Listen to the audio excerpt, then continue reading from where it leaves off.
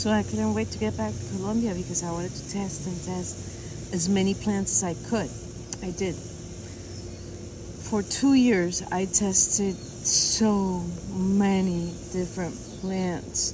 The first thing that catches my attention is the shape of the plant. But then, you know, you start testing, some work, some work, some don't work.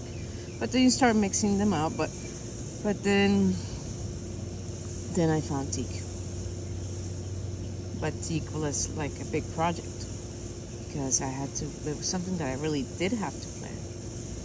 I lived in Bogota, and I was going to go to my uncle's tree teak crop, teak crop for a week to do my project by myself.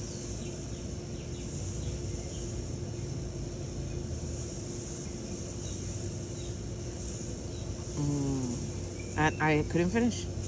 I had the exhibit, I think it was in September. I still had like a month and a half. But I one week in Medellin was just not enough. So I did a second part, another part in my studio. I did another part in in El Sisga, somewhere else.